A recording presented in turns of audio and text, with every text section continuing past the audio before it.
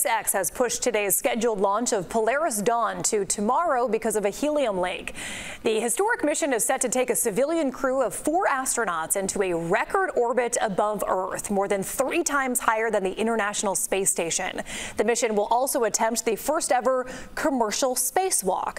So joining us now to dig into the significance of this launch, space historian and assistant professor of science communication at the University of Chicago, Jordan Bimm. So Jordan, thanks so much for being with us. Yeah, great to be with you. So this launch has many firsts, including that it is the first commercial spacewalk and the farthest human space flight since Apollo. So can you just help us put that into perspective?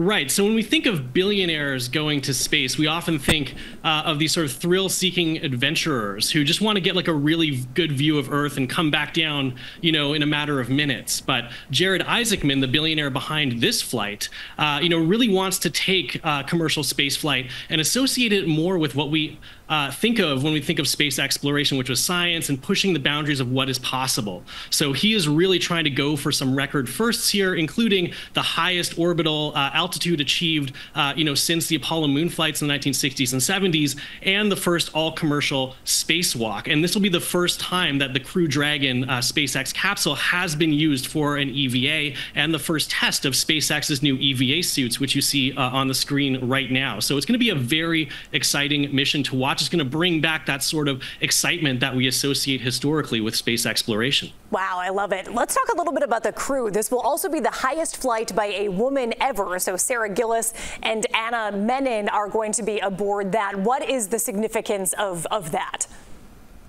Right. So you just put uh, you just you just said it. Uh, they will be the the um, uh, the record holders for uh, for the women's altitude record. Uh, previously, that was uh, held by Kathy Sullivan, who was one of the astronauts on the space shuttle that actually put the Hubble Space Telescope into orbit back in 1990.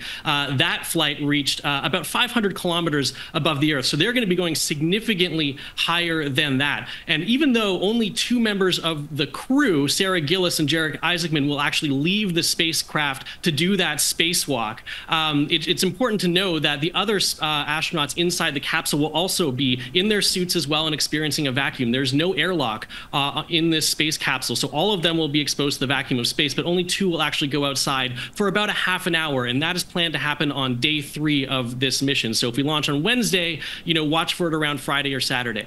This may be a really silly question, but what do you get when you get higher or go higher into space and into orbit? Like, is it just a, a better view of, I mean, what, what is the goal of that, I guess?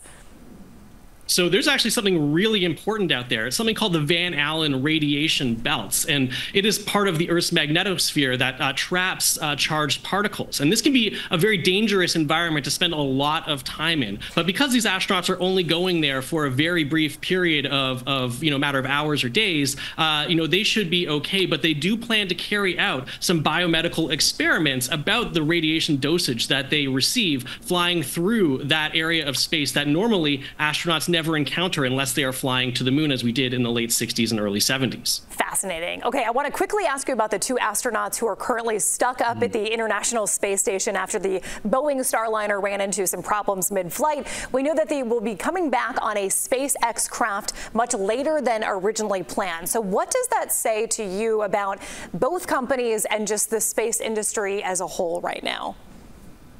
Well, this week really is the tale of two spacecraft, right? And this is the type of space history that we don't want to be talking about. This is the first time in space history that the first crewed launch of, uh, of a new type of spacecraft, the Boeing Starliner, will not carry those astronauts back to Earth. So over the weekend, NASA Administrator Bill Nelson made the tough but correct decision to have them remain on board the ISS and to fly uh, back to Earth in February with the Crew 9 SpaceX Dragon uh, capsule. So, you know, this was because uh, the Starliner encountered some thruster issues on its way to the ISS. The Boeing team and NASA engineers have not been able to understand exactly what that problem is, so they can't put a risk uh, assessment on that. So they made the correct choice just to keep the astronauts safe.